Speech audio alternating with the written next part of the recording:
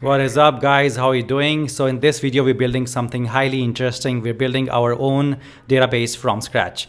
You heard it right, we're building our own database from scratch using Golang. It's going to be a JSON database. So it's almost like uh, MongoDB, it's quite modern.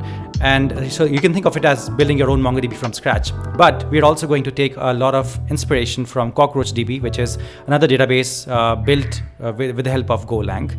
It's not a JSON database, but it's built with the help of Golang. So we'll be taking inspiration because it handles data integrity issues uh, in a very interesting uh, manner. It, it, uses mutexes to handle data integrity issues. All right, so uh, that's something um, that that we'll be building. So uh, what I'll do is I'll first show you. I'll give you a demo of what we're going to build, and then I'll show you using a diagram uh, on how we're going to build it, the the whole approach, and then we'll actually start writing the code to actually build the whole database. All right, so let's get started. So I'm on a terminal now where we'll be running the program and this is the program that we'll be running. It's in Visual Studio Code and here you'll see a new folder that will be created automatically and that folder will have all our JSON files of the database. All right. So let's do that. So let's say go run main dot go. It takes a while and it creates all these different records for us all right? And how can we verify? We can go here we can go inside this folder that was just created for us right now and he, there here are all these people that we've just created. These are different records. So albert is a person and he has uh, uh, these values like name age contact company address and address itself is a struct which has all these different values. So it's a nested object. You know if you uh, if, if you're very familiar with json you know this is a nested object. This is uh, the complete json object. And there are multiple json uh, objects and this is the entire collection. So we can even make multiple collections. You can have a single collection if you want. You can have multiple records in a single collection. This is completely like like MongoDB. I mean, if this is not like MongoDB, then I don't know what is. So we're going to build this from scratch. Uh, as you can see, it's going to be quite a substantial project. So uh, wear your seatbelts and let's get started. But before that, actually, let me show you what we're going to, uh, how we're going to approach the entire project. All right. So whenever you start uh, with a coding project don't start coding directly uh, put it on out on paper or on draw.io or any some visual tool so that you know how you're going to approach it all right that's something that i always recommend. And that's the difference between a, a junior developer and a very senior developer is because the very senior developer or, or you know the architect he basically uh, plans out everything visually before uh, starting out anything because he can then see the challenges uh, and, and what all he has to do and also the, the challenges that might appear in the pro in the program all right? So this is not i won't call this a complete architecture uh, you know diagram but this is because i've already built the project right? I've already built it and i'm now going to show it to you. Uh, and this is more like a tutorial but this is more like a you know like a 10000 feet view of what we're going to build right? So i highly recommend you build an architecture before you build the project but even if you don't do that just build a 10000 feet view of the entire project structure or or the project or how it's going to flow before you actually get started with the code all right? So uh, now there's with, with the project planning let's say of, of the project you have to define a critical path in the sense what are the key things that you need to complete to be able to actually uh, call it a, a, completed project. So i need to have logic to create data types a logic to write data to the database logic to create files these files that you can see right there's also the logic to create this folder uh, but anyhow. And then there's also the logic to write files write into the file so this is a file and uh, you create a json file and then you can write into the file. So i need to have logic for all those things right? So that's my critical path to actually create the database. Now, uh, then it has these four different things as well. It has the logic to read a single record from database. This is not my critical path, but these are like good to have items, right? So I'll have to have logic to read a single record if I wanted to from the database. If I want to have, uh, if I want to, read all records from a database, I want to have that. If I want to delete one single record from database or delete all records from database, right? So this is your get by ID, get all, delete by ID, delete all, all right? So you have, you will have this functionality as well. Now, uh, then you have uh, a struct called as driver. We'll create a driver almost like mongoose all right? So we'll create like if you've used mongoose with uh, node.js you know what i'm talking about. So it's a driver that uh, you know almost like so we're not building an orm you can't call it an orm but it's like orm but it's like driver that you know is, is like the thing between your uh, database and your project all right so the driver basically will do the read all and read and uh, you know write and delete all. This was supposed to be delete sorry. So delete delete all and write operations right? And these all will be struct methods. So if you don't know what struct methods are I highly recommend you first check them out before. You need to know what structs are pointers pointers and struct methods at least these basic things of Golang. If you don't know them go take a Golang tour. It's a it's a free website golangtour.com or something like that. Just take the whole tour and understand the basics of Golang. Come back here all right then you reach data integrity issues. So we could have ended the project here but you know i'm, I'm just taking things a little uh, you know forward. So what we'll do is we'll also handle data integrity issues when you build a database. Uh, and data integrity uh, issues come with write and delete operations all right? So let's say if it's a bank and you put uh, you, it had $200 to begin with you put 100 more dollars into the bank and then you took out $50 now between this operation this operation taking place if there was a write operation happening uh, or or you know some other operation happening it, it would interrupt these operations all right? So you might uh, so the right uh, you know value is $350 because you had $100 you put uh, what do you call it? Sorry it should be $250 not $350 right so you had $100 you put $200 became $10 you took out $50 it became $250 right? This is the right value when you read uh, from this bank this was the right value but but if this uh, op these operations were happening and you just uh, read it between that it would show $150 right which is the wrong value because it was 100 and then you took out $50 because this operation wasn't complete you know so you took out $50 and the value became $150 so this is the wrong value. So we want to see this value not this value. So this is uh, a data integrity issue and then this can be solved using mutexes. So mutexes basically lock uh, an operation that's happening at that time and then they don't uh, allow the other operation to you know uh, happen at the same time. So if you don't know what mutexes are there are thousands of videos on youtube. You can go check them out or maybe i'll create a video on mutex sometime in the future but there is a channel called tutorial edge that uh, has already has mutexes uh, a video on mutexes. You can go check it out or probably you already know what mutexes are because it's a Golang tutorial and you're watching uh, how to build a, a database from uh, with using Golang so that which is quite advanced right? So I'm hoping that you already know Golang quite well so, and you already know concurrency like uh, you know go uh, go routines and channels and mutexes already you're aware of them. Anyhow so this is the entire project. This is uh, how the uh, you know how you run the code and this is the entire code. And i'll start uh, we'll start uh, creating new project and start building everything from scratch so stay tuned. So now we are in a terminal in a place where we usually keep our golang projects and i'll create a directory golang database and then we'll cd into golang database. And then we'll initialize this program go mod init um, github.com slash akhil slash golang database if you need to golang then go mod init is like npm init which basically creates uh, a go mod file which is the equivalent of a package.json file which will basically have the list of all the dependencies external dependencies that you plan to use in this project. All right so let's do that.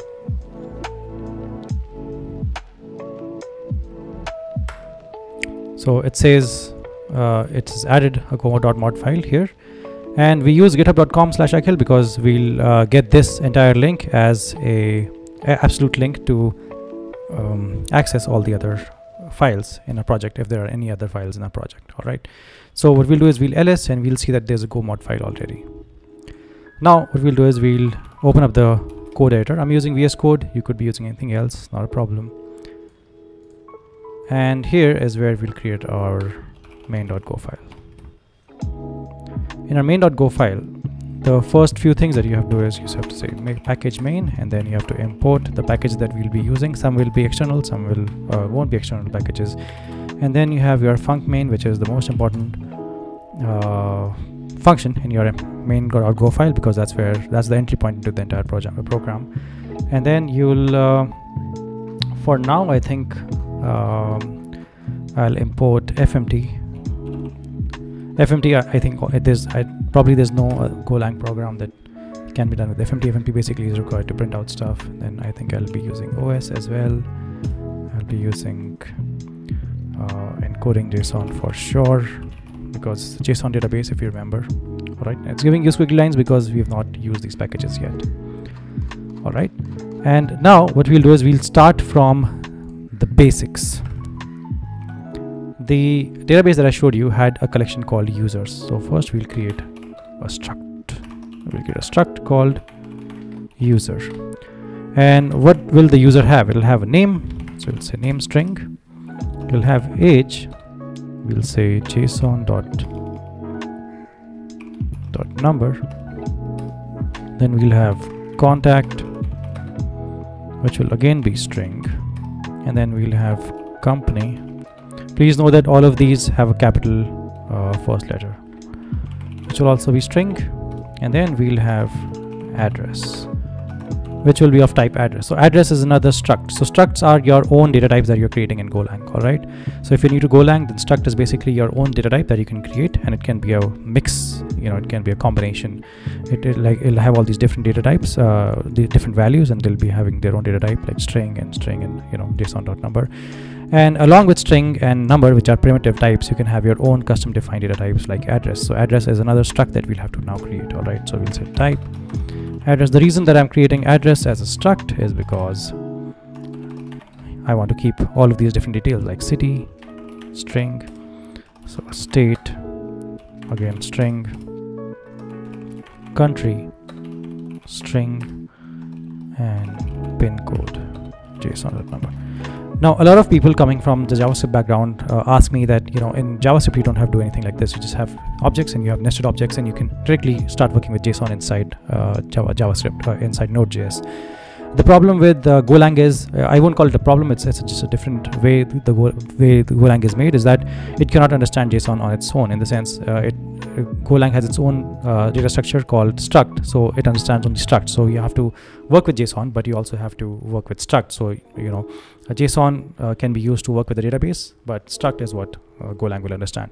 And um, Golang does not natively understand JSON because it's not uh, a JavaScript framework, right? Like Node.js. So this is the reason why we have to define our own structs. We can't just create an object and a nested object like that, you know. So we have our own structs which have uh, where we have to define these values like string, string, string, number, and all of those things. All right. Uh, now, in the beginning, if you're starting out with Golang, you'll think that this is uh, a painful thing. I mean, why do I have to do all, you know, again this again and again? But uh, trust me, this saves you from so many, so many errors because you're com in complete control of how your objects will look like, your structures will look like. All right. You won't appreciate it right now if you're starting out with Golang, but as you become more advanced, uh, you will understand that this is uh, probably the, one of the greatest features of Golang. And then you have, uh, then what I'll do is I'll define the directory. All right. Why I'm doing this is because uh, I will need to tell Golang where do, do I want the folder to be created for those collections and all of those things that I want to be uh, want to create right? So uh, I showed you in the demo that there's a users collection that create, gets created and it gets created out here which is this uh, directory location right? So it'll create the collection out here. So that's why I'm, I'm defining directory out here. And then I'll have uh, a function called new so I'll define this function right now. Don't worry about it. All right. And that basically is your database. So this new function will create your database for you. If you, you already know how to handle errors if you've been watching my videos if error is not equal to nil then we'll print out something here. So we'll say print ln error and we'll print out the error. So far so good. Now we want to hard code our values that we want to uh, you know be stored in our database. We can take these values from uh, the command line. We can take it from an api right from the front end that can take values. Or we can hard code the values right now for the purpose of this project so that you at least you understand how i'm taking that data and you know putting it into an uh, creating a database out of it right? And uh, if you want we can also create uh, like in, in, a future video we can also create an api that accepts data. But i'm sure you can do it yourself. I mean it's very simple very straightforward because i've already shown you how to create apis in hundreds of other videos in golang right? So what we'll do here is we'll say we'll take a slice called employees. And it's slice of type user capital U mind you because this is user. So you, we're telling Golang that I want a slice. So slice is basically uh, a very small uh, collection or array. You can call it an array. It's like an array you know and you have these different values. The different values here instead of having an array of objects like in javascript world you'll have an array of this struct called users. All right? So you'll have this here. I'll give i'll keep giving you javascript references because i know a lot of people uh, who are watching these videos already have a javascript background because javascript is like the most common programming language and then people get frustrated with javascript and that's why they come to golang right so i know my target audience so I'll try to keep things like that and so uh, here we know that it needs needs to have a name, age, contact, company, and address, right? So name is John, age is 23. Now you'll you'll ask, you'll probably wonder that you know it's supposed to be number, but I'm giving it as a string. It's because um, it's a string for uh, Golang, but uh, at JSON it'll be a number. So that's why I say JSON number. But when I when we'll actually create the database and you'll have those values, you'll see those values. You'll come to know that there's that those are numbers, JSON numbers, not strings. But for Golang right now, all I'm doing is is I'm keeping it as strings so that everything stays very very uh, you know easy. And I will have a contact number here. It can be a string it can be a number up to you. And then we'll uh, put the name of the company. Name of the company can be so I'll put my own uh, company called Multech and then we'll have uh, the address. The address is let's say Bangalore. And the state is Karnataka. So uh, when I say address I'll have to use city state country and pin code right? So I'll have to uh, I'll have to say that this is of type address and then it has a city state and country and has a pin code. Pin code again can be a number or can be a string. Uh, in my case it's number but right now for Golang you know it's it's a string. So you have to put a comma here um, and then we can put a few more uh, records here in our database so we'll I think we'll put like six records probably. Comma put one more comma, one more. So we have what six records. You can put 8 10 15 100 whatever you want. And I'll just change the name of these guys. All right I'll say Paul 25 company name is Google. This is Microsoft. This is uh, so I highly uh, recommend that you code along with me. So while I'm changing these companies, you can also do that the same. I'll put my other two companies. So I'm uh, a CTO at Remote Teams and Dominate. These are two different companies. And this is the company I'm a founder at. I've also founded these two companies. These I'm the CTO at these two different tech products. These are both SaaS products. All right. So here I'll just put uh, different addresses now quickly and also change the name of these guys. So we'll use um, Robert. Let's put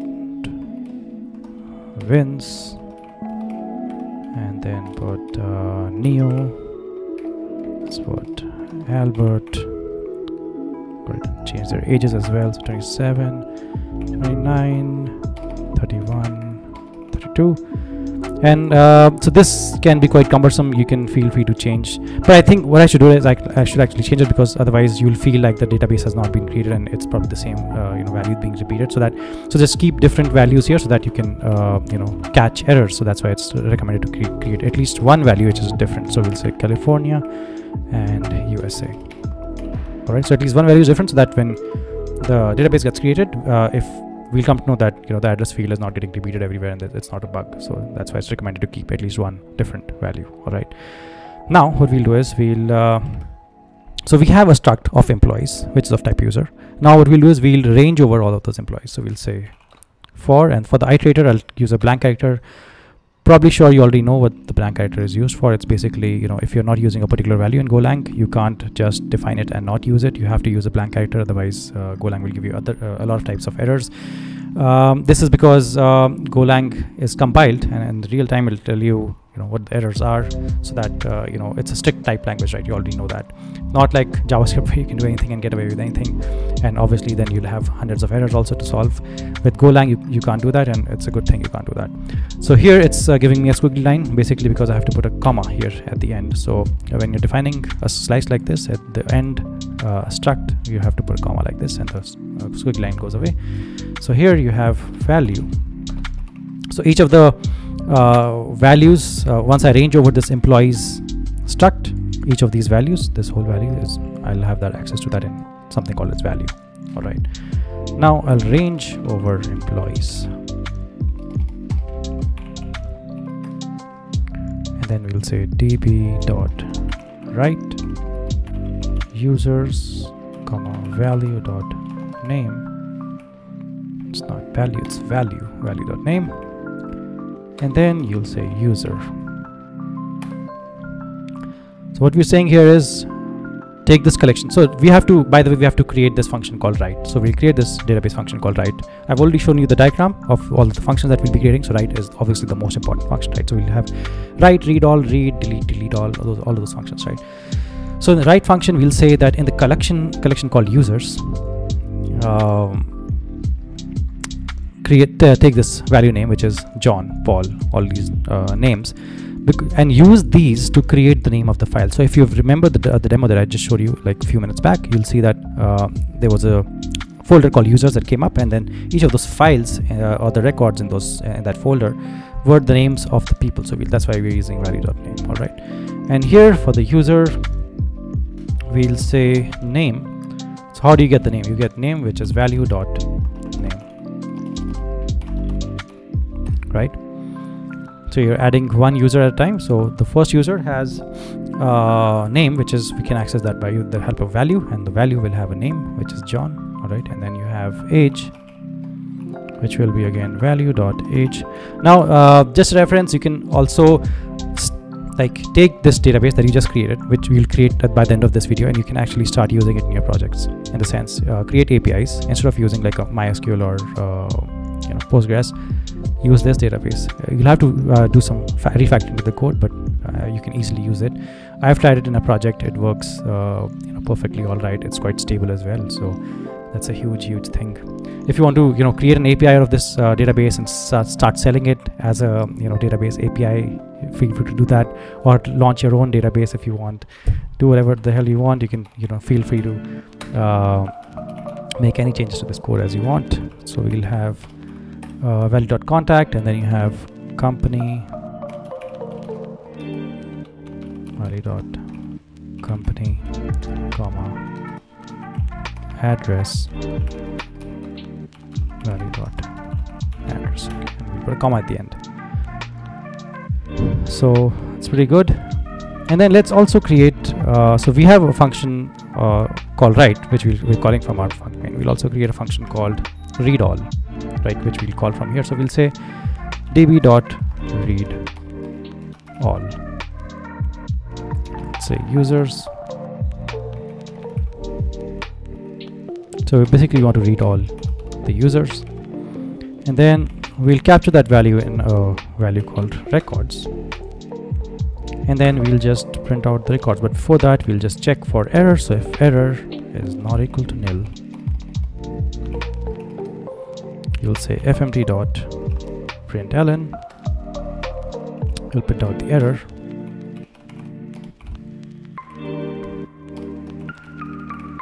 Comma otherwise you'll print out the records. Perfect. Okay. And if you want to find um, actually we'll have to one more thing. So we'll say all users equal to user. So we'll create an empty uh, slice. Empty slice the slice uh, of type user which is empty right now. And we'll take that in this um, variable called all users and what we'll do is we'll range over the records that we've just received here. Okay these records that we printed out and we'll range over these. To range over these you already know what's required. You'll have to say for and another value here. So you'll get all of those records in something called as f and the iterator. We're using a blank iterator because we don't want to define it and then not use it. So we'll use a blank iterator here. And we'll say employee found equal to user so each employee that's being found is of type user. That's a variable that we have taken. And here what we'll say is if error json dot unmarshal byte f comma and employee found error not equal to nil so let me first write down and explain to you what's happening here. It's very, very straightforward actually. So we'll say fmt dot println and then we'll say error and comma error. Alright. And here we'll say um, here we'll say all users equal to append all users comma sorry the u is small out here so it's all users comma employee found. So we already found the records using read all and we printed the records. The problem here is that the records that we found from the database are in json all right? And to be able to use it inside golang uh, you'll have to convert it from json into uh, and a format that's understood by golang by with the help of unmarshalling function.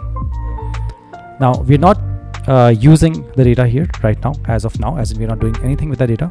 But I've just written this code just for that uh, you know so that if you actually want to use this database somewhere uh, you'll have to you know unmarshal it. You've already seen a lot of my videos which uh, probably which uh, you know uh, help you to, to work with a mongodb database or postgres or mysql. There are hundreds of videos that i've created right? So you probably already know that uh, the data uh, let's say uh, in a database like mongodb is stored in json and then you get it from you'll have to unmarshal it. All right and um, after unmarshalling it you can use it in your projects. And we'll quickly print it out as well. So we'll say fmt dot println all users. All right.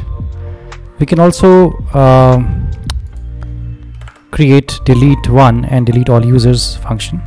And but we'll keep them commented out for now. So what we'll do is we'll say db dot delete and so delete a user of name john. And then we'll say if error not equal to nil and then we'll say fmt dot print ln print ln. And we'll say error comma err here we'll say if error is equal all right and this will basically help us delete one user from the database. Then we if you want to delete all users, users from the database so you'll say delete user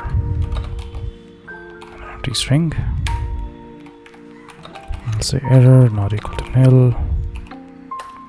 fmt dot print ln error comma error now these two functions can be called using an API so you can make an API and then uh, you know that those APIs can basically in the func handle uh, handler function you can call these uh, functions and call uh, and basically read stuff from the API if you want.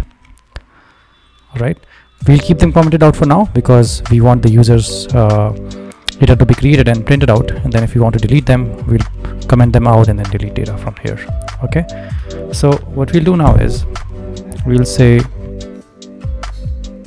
we'll go to the top of the project and we'll give it a version number. So let's say const version is equal to 1.0.1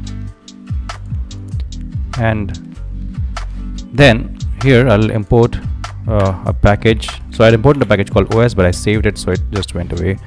I'll re-import it and I'll say sync because I want to use mutexes. So I have to use the sync package for the mutexes and then I want to import an external package. So I have to say github.com slash jc elliott slash lumber.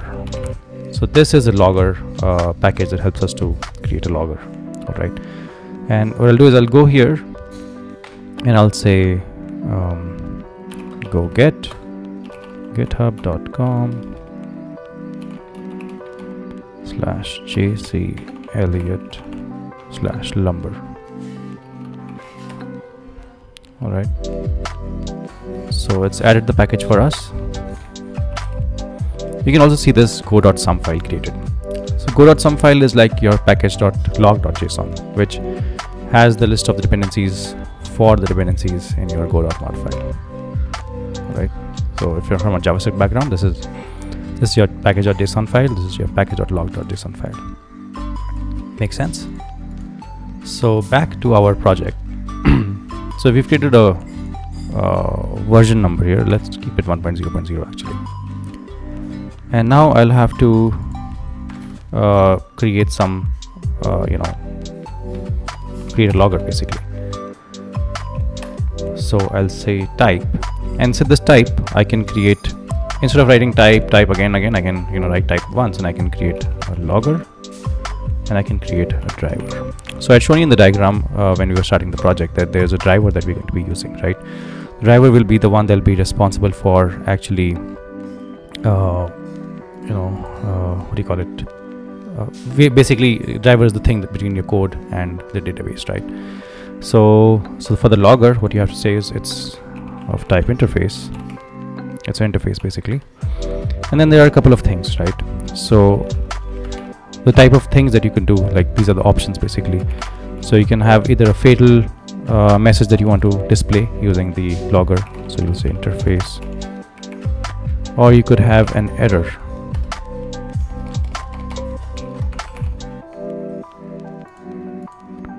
Or you could have a warning. You could have info. You could have debug. You could have trace for error you'll have string and dot dot dot interface.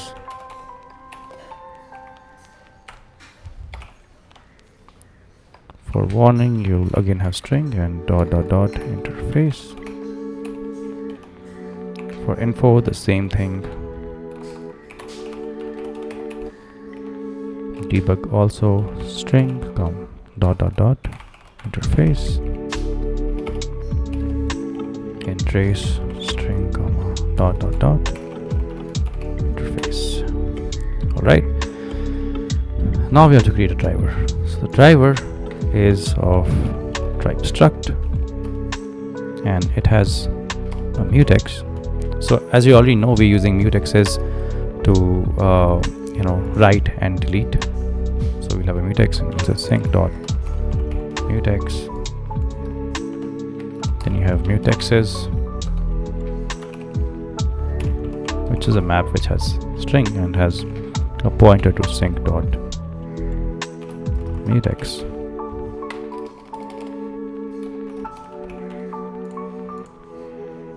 And then you have a directory which is a string. Sorry just string. And then you have log which is of type logger. So log is of type logger directory is a string directory is basically in which we'll be uh, creating the project uh, the database. Then you have a mutex and you have uh, mutexes which is basically strings and then uh, pointer to mutexes all right so then there's also one more thing called options. So we'll say type options type struct and here we'll give uh, it's of type logger basically. It has logger. So logger we've already defined. And here it's giving us a squiggly line because I've kept uh, s uh, capital by mistake so it's small s. So we have a logger now we have a driver and we have options which basically has logger all right. And now um, as you already know we have we'll have a few functions right? So one function is new it's going to accept a couple of parameters. It's going to return a couple of, a couple of parameters. And it's going to have a function definition. So this function hopefully will help us to create a new uh, basically initialize stuff and create a new database and that kind of stuff right? And then we'll have the write function which is the most important because this helps us to write stuff in the database. It's going to accept a couple of things. It's going to return something. It's going to have function definition it's not going to return a couple of things uh, as in in the sense I won't have a bracket where it's going to return things. It just has it just returns one thing which is error right? So if uh, it accepts some things and writes to the database if it does if it's not able to write it just returns an error that's all. It's a very simple function. Then you have func write sorry func read. Again accepts a couple of things just returns the error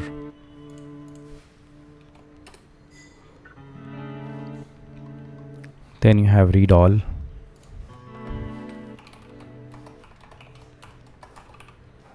Accepts couple of things returns couple of things and has a function definition. Then you have the delete function. Accepts a couple of things it's not able to delete it just returns an error that is it. And then we'll have a function to get or create mutex. So if the mutex exists you can just get it or if it doesn't exist you can create new mutex. Takes something and then returns or a uh, pointer to sync.mutex it has a function definition. All right so these are the functions that we need to work on. One two three four five six and we have the outline of these functions now one very important thing is that these are not just functions you know uh, at least these ones. The write read and all these functions are not functions. These are actually struct methods. So you'll have to say here d and percentage sorry asterisk driver. So this is how you define a struct method which basically says that struct is driver and these are methods for that struct okay write and read all those things.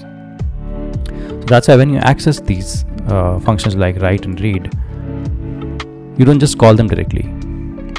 You say db.read all you say db.write because these are uh, struct methods right?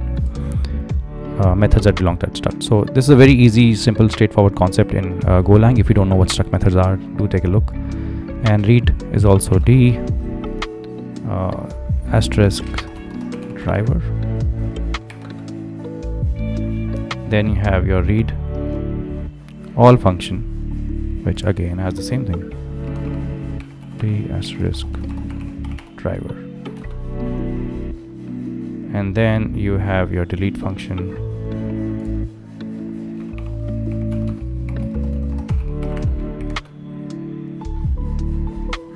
then you have get or create mutex. Is the same thing. The asterisk driver. So these five different functions are all struct methods and not just simple straightforward functions all right? So now let's start working on the functions one by one. So for the new function so the new function does not only just create a database for us but it also returns a driver uh, that we want to use to interact with the database later on right? So it just returns a driver to us or it sends us back an error. And it takes a directory because it wants to create the database at the directory location and then it takes some options which you just created here which is basically the logger only. So we'll start with a variable called directory and we'll say file path dot clean directory right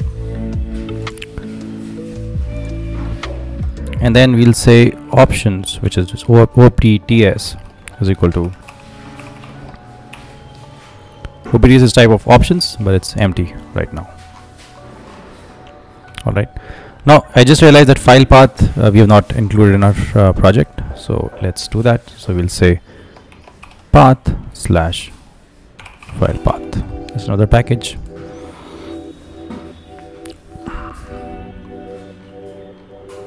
and let's come back here. So we'll say options and then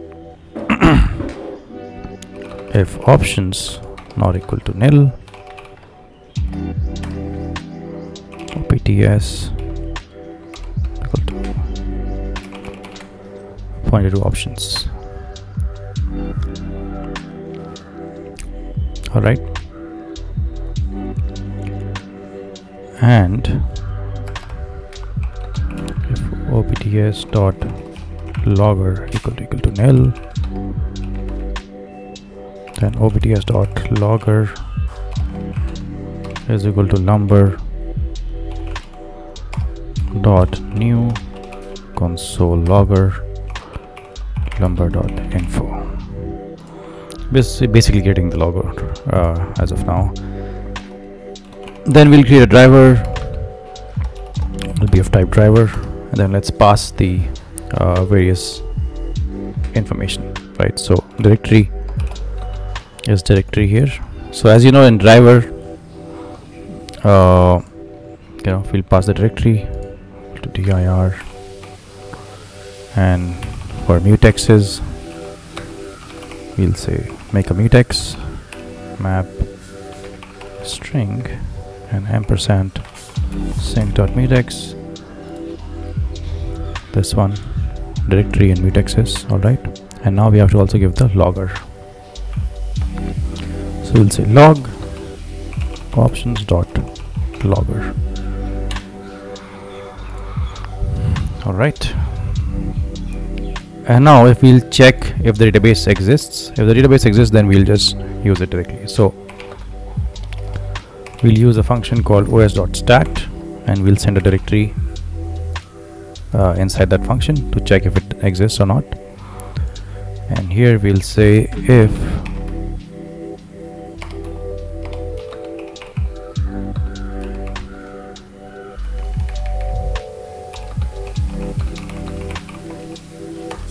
nil and or pts.logger.debug so using percentage s.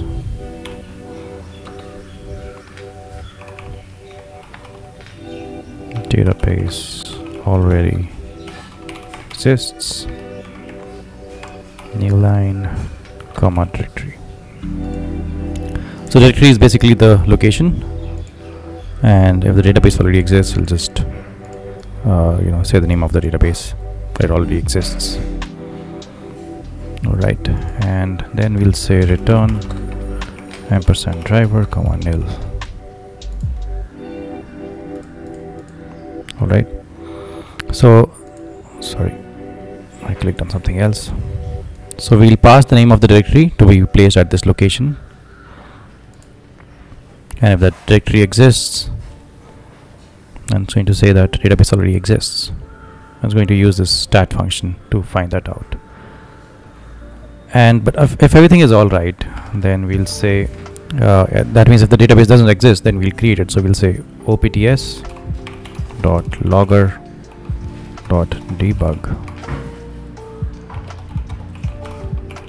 Creating the database at percentage s slash n comma dir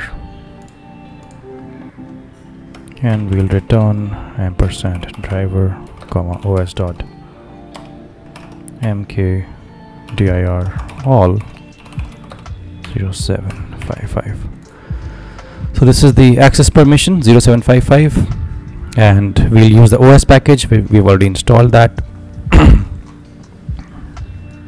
This is wrong. I mean this is not supposed to be here. So we'll use the OS package to uh, create a new directory with the name of directory that we've just passed and as a string to this new function. So if the function if the database didn't exist we create a new data database. Otherwise you know database already existed so we'll keep using that. That's what this function is doing simply.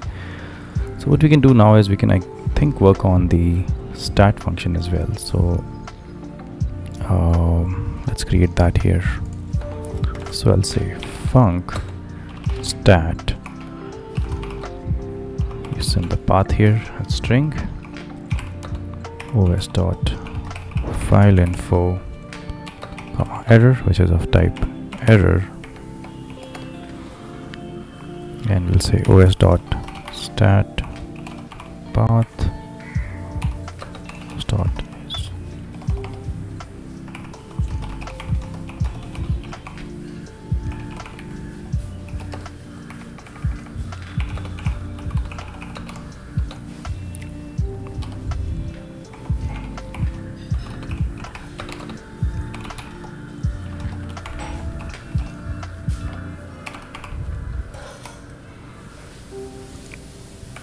just stat path plus. Json so the database that we'll create will have a dot json at the end.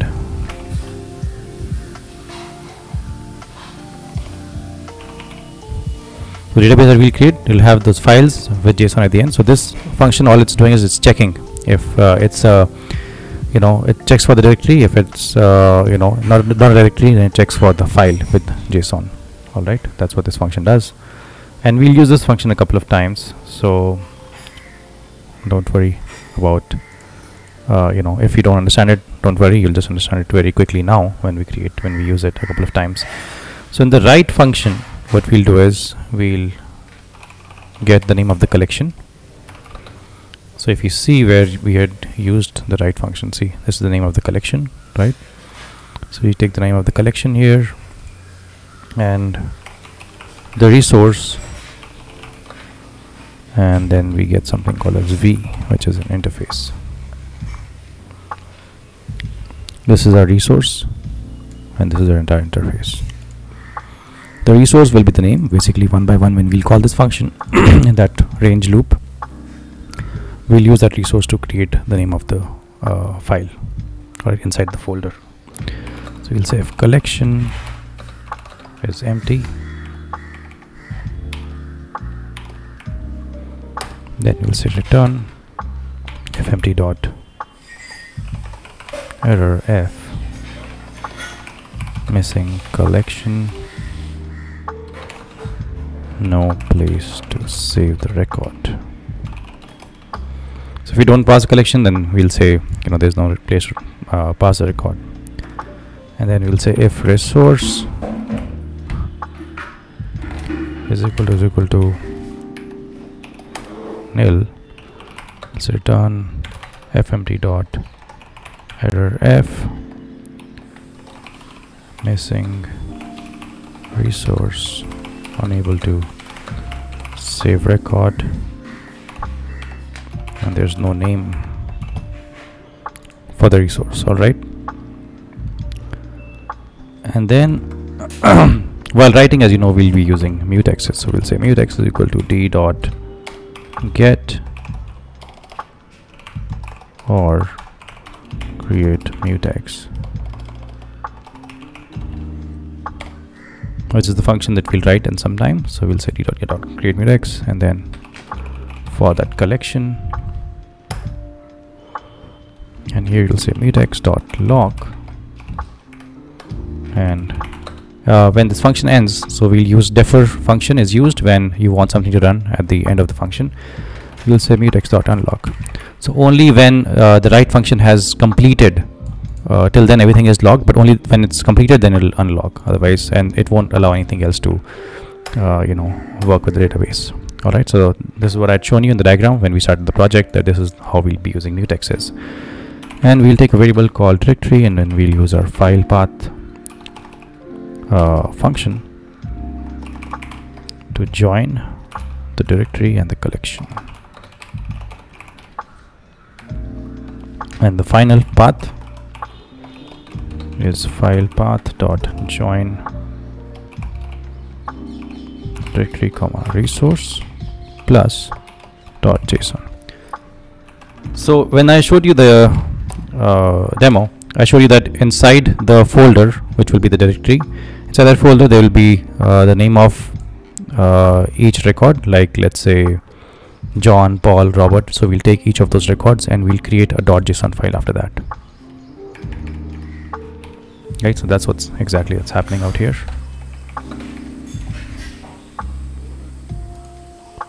And then the temporary path is equal to final path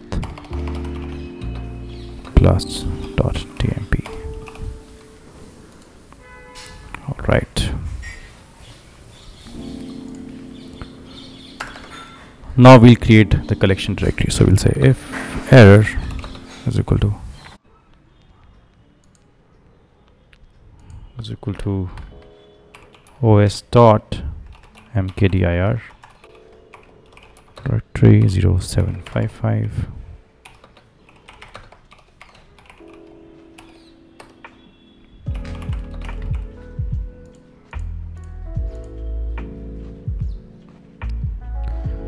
And then we'll say is equal to append. Now we are writing inside the file, so we'll say append everything on a new line.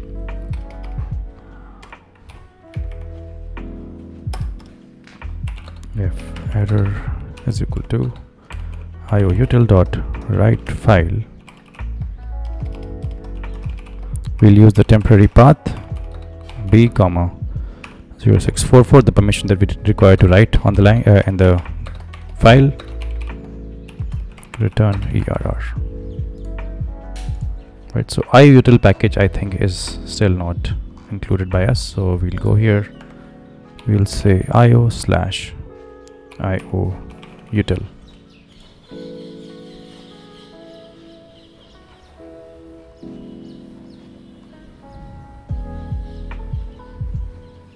Okay. So what's happening here in the write uh, method is that not only are we creating uh, the file with the, the .json uh, extension but we are also writing inside that file.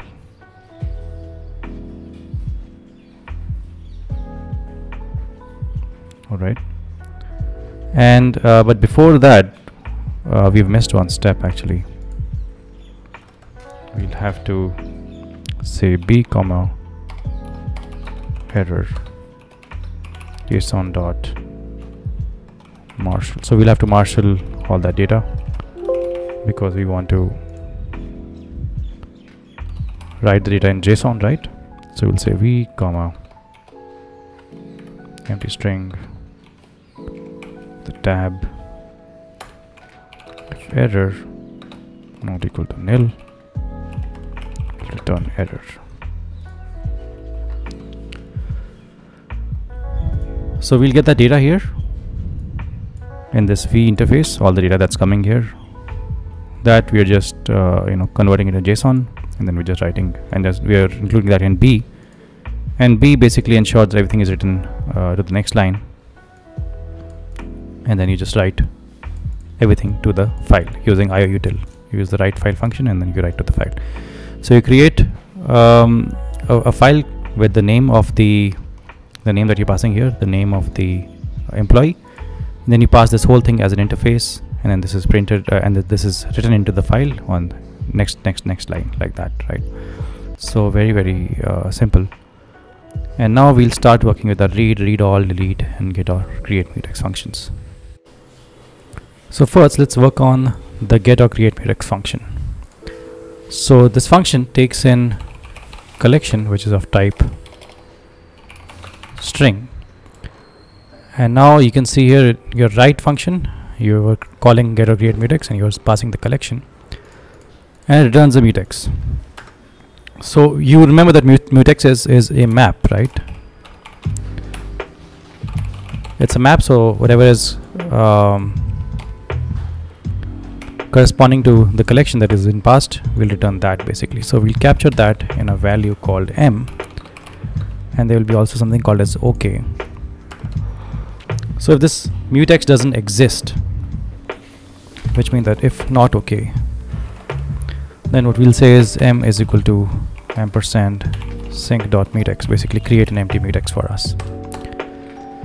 And d dot mutex is collection is equal to m. And all you're doing is basically returning m. And here you'll have to say d dot mutex dot lock and defer d dot mutex dot unlock all right. So that's your get or create mutex function. And now let's work on the rest of the functions like read read all and delete. So we have only three functions now left. So for the read function what we'll do is we'll accept collection and we'll accept resource which is of type string and an interface. And returns an error. All right. And here also let's do the same thing which is if collection is empty I think we didn't say anything for the collection then it'll say return fmt dot error f missing collection. No uh, place to save record. That means there was not a no place to save the record. And if resource is equal, to empty so return fmt dot error f. Again missing resource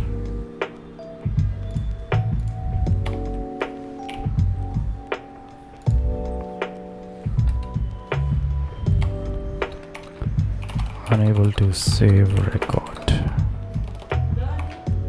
No name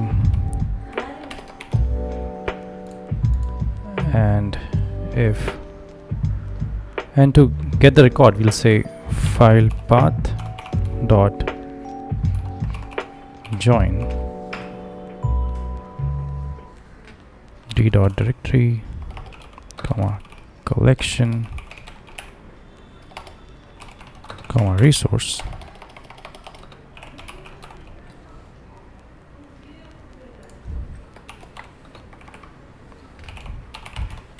We'll make it equal to record. And we'll use our we'll check if the file exists. So we'll use our uh, stat function which we just created. So we'll say is equal to stat and record does the record exist error if error is not equal to nil we'll say return error. That means if error is there then we'll return the error. Otherwise read the record from the database. All right to read the record from the database you'll have to use ioutil function dot ioutil file uh, uh, package read file function and you'll record plus dot json. You'll read the record.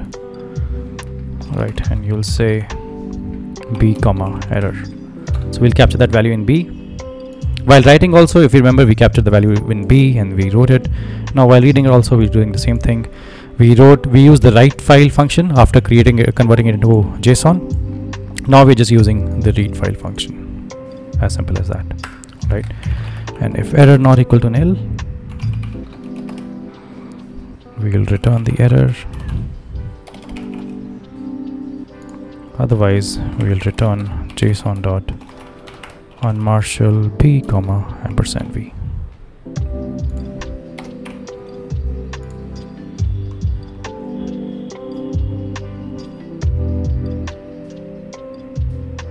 All right.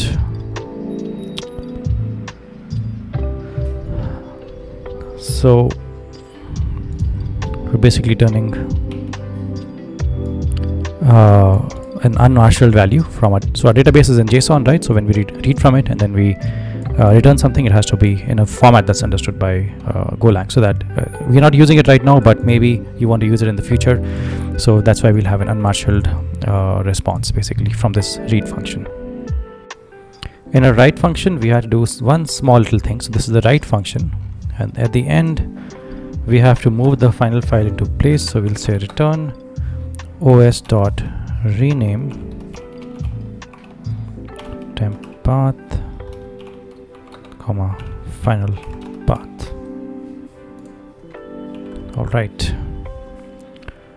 So we've we're done with the write and read function. So write function is the most important one and so new function is important write is the most important one and read we have already done. It's quite simple. Now we want to work on our read all function. So read all is going to be very similar to read so let's get started. So we'll say it's going to accept collection string. It's going to return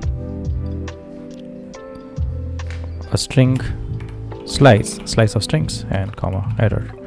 The slice of strings is basically the data the read all data basically. Everything from the database is going to be returned as a string of uh, slice of strings. All right? And the thing that you pass to read and read all functions right is basically the collection. So that's why we have set collection here. So in, in our case is the users collection. So you want to read something from the users collection. Now if the collection is empty obviously you'll say that you know uh, the collection is empty.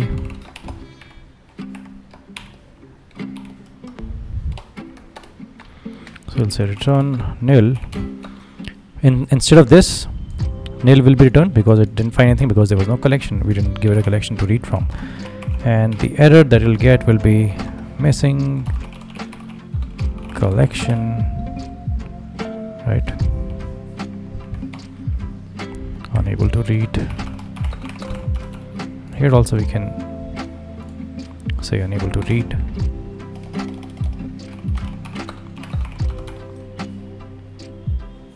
so earlier we were saying unable to uh, no place save record which means that there was uh, you didn't send a place uh, where you know from which to read the record. But i think more apt message is unable to read. Right. And here also I think you can say unable to read actually. To read record.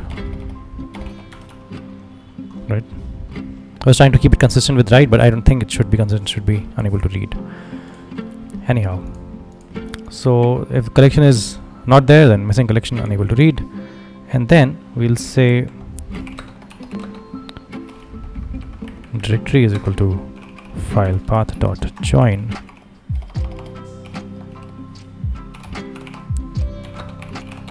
So in case you've not understood what's happening here you know we're doing this in um, other, the other functions as well right?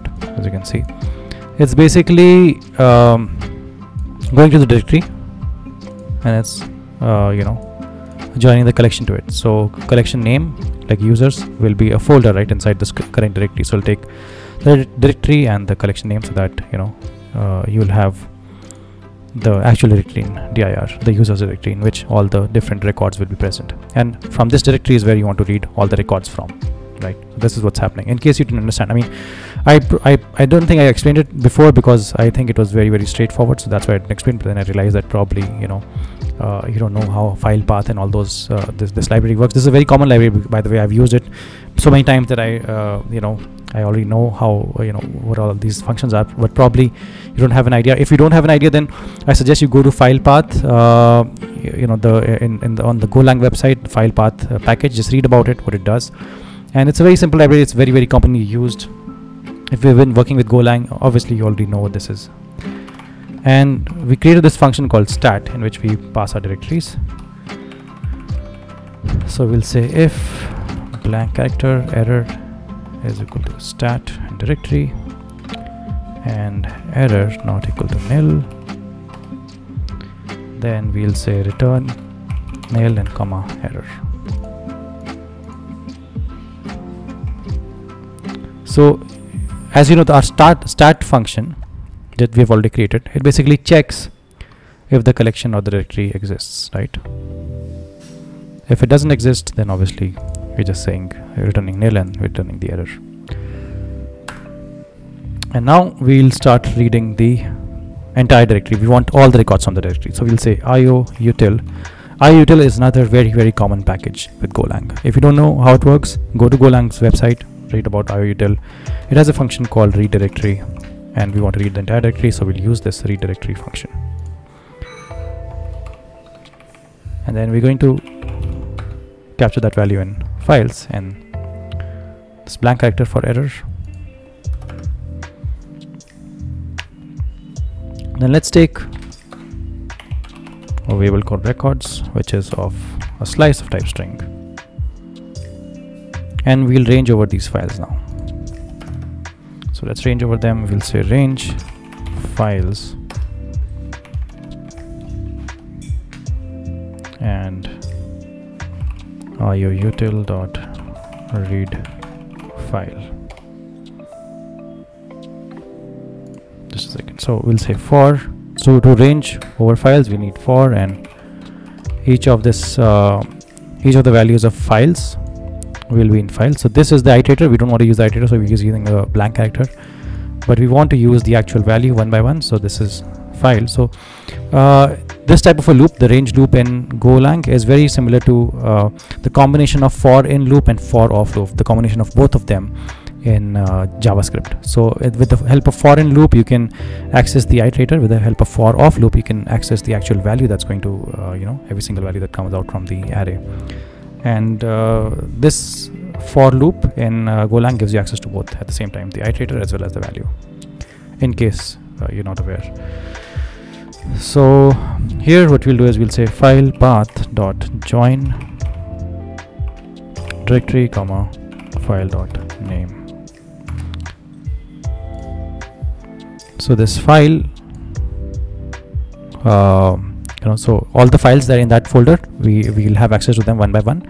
And they'll have a name right? Like let's say john or paul or all of those. So those names basically we want to uh, you know uh, create here with the file path and then we want to read that particular file. So ioutil has read director uh, read directory read file write file all of these functions. So I'm, I'm hoping that everything is clear to you now but if you don't understand anything here uh, do put it in the comments below I'm trying to explain every single line as we uh, go along but in case you know you don't understand anything please feel free to leave a, uh, leave a comment so that I can help you out. Or I can explain to you if, if uh, you know something is not clear like you can write big comments also like you know hey i didn't understand this particular line. Why did we use file path or why are we using the read file functions? Because here we're using the read so i'll just explain to you again. You, we are reading the entire directory and uh, the directory will have so many different files right? Our entire database is uh, is a directory with multiple json files. And each json file we can access using the directory which is the name of like let's say users and then the file name uh, which is you know uh, something.json like john.json paul.json right? You, when you saw and i showed you the demo of the product you, you could see that there were uh, different records being created with the name of each of those records that we are sending. So that's how we can access each file and we want to read that uh, exact that particular file. So that's why using ioutil.read file right? In case you're not understanding any of these lines do let me know. All we have to do now is append to records records we already defined. It's a slice of strings. So we can append string b to it. Quite straightforward. And here if everything goes well we will return records and comma nil. Great. So our read all function is complete. Get our read matrix is complete. Our stat function is complete. Write function is complete. Read is complete and all almost the entire project is complete except for one function which is the delete function. And as you can see right now we just have one squiggly line here because we don't have a definition for this function yet. And we have only one error in our file. Everything else seems to be uh, doing okay but these are again syntactical errors. But uh, when we run the program we'll get more other other compile time errors and we'll have to fix them. And I can tell you that there will be many errors right? If there are not errors uh, there are no errors then we should be surprised. If there are errors everything is all right if you're a developer get used to seeing a lot of errors. So we'll solve them together not an issue. All right so here we'll have delete and in the delete function you'll send the collection obviously and you'll set the resource or the exact value or the file that you want to create uh, delete from the function. So the same uh, drill will take the path will be file path dot join collection comma resource. So in the delete function if you remember what we do is we pass the collection and the resource we want to delete. So that's why we're creating a file path first for it. We have that in path. And I'm not sure if we created uh, the mutex in the right. Yeah so we created the mutex so we'll have to do the same with delete. So we'll say mutex d dot get or create mutex?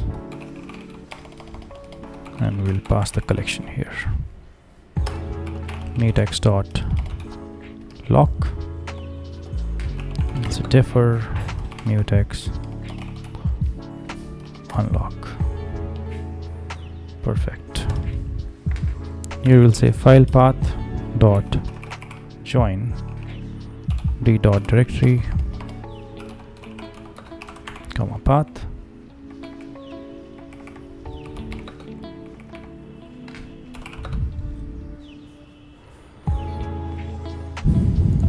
And here we'll say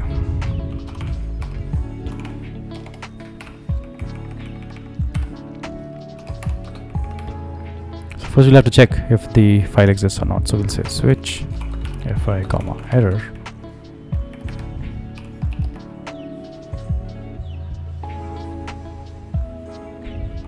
Case fi equal to equal to nil.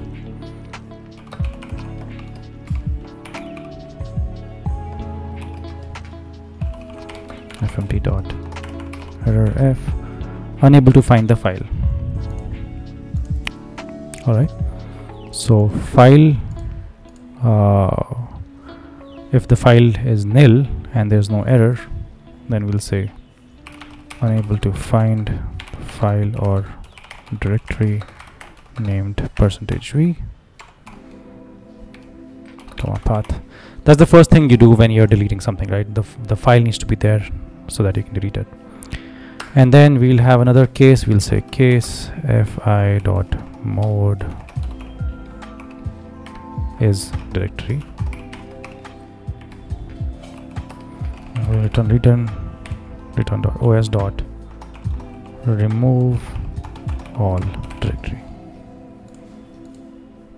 All right so this is to delete the entire directory itself.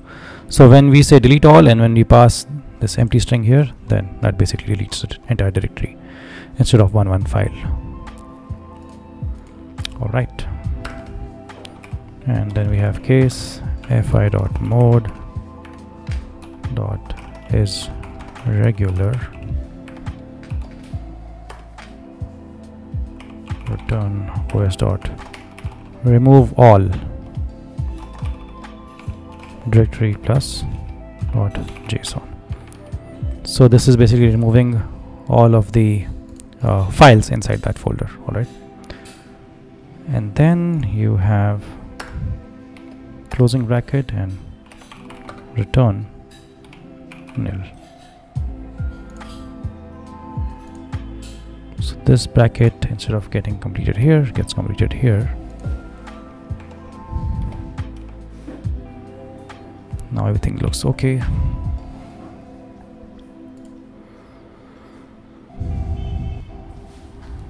It's saying this it could be a error. String should not end with punctuation or a new line uh, we'll have to investigate why it's saying that. And we already have our path here. Everything looks all right to me as of now. What we can do is we can try running this program and see what what happens you know.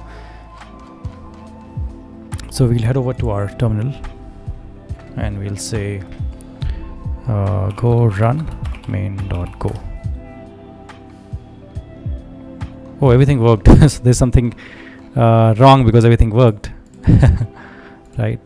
So we we've created our database. We've written to our database and all of these uh, files have been created as you can see with the help of our our read function. And at the end we're also calling our uh, sorry with the help of our write function. And at the end we're also calling the read function. So what you see here is basically your read function uh, taking place. Right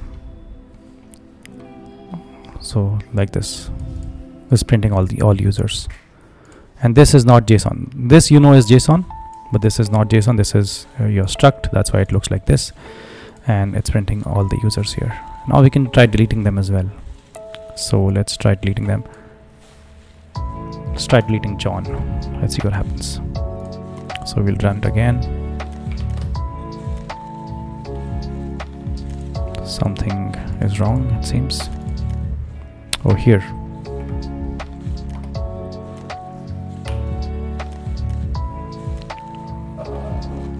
Let me also uh, see on the entire program if everything anything else is wrong. That may be leading to an issue here